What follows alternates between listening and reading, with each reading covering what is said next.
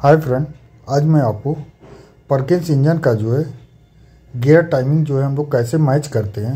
तो ये देखिए, ये हम आपको इसमें जो है कंप्लीट जो है, इंजन का गियर टाइमिंग हम कैसे मैच करते हैं, वो हम आपको दिखा रहे हैं। इसमें जो है मार्किंग नहीं होता है इसमें देखिए ये लाइनिंग टाइप से होता है। इस लाइनिंग को जो है गियर टू गियर जो है, जैसे क्रैंक साफ्ट है कैम साफ्ट है, हमारा ऊपर जो है एफ़ आई पम्प का जो गियर होता है उसको हम कैसे कैसे मैच करते हैं तो ये सभी चीज़ें जो है हम आपको इस वीडियो में दिखा रहे हैं।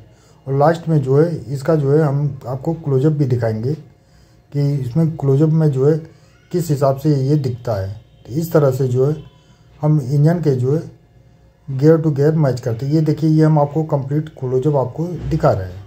अगर अभी तक आपने हमारे वीडियो को सब्सक्राइब नहीं किया है कृपया इस चैनल को सब्सक्राइब कीजिए और हो सके तो अपने दोस्तों फ्रेंडों को शेयर भी कीजिए।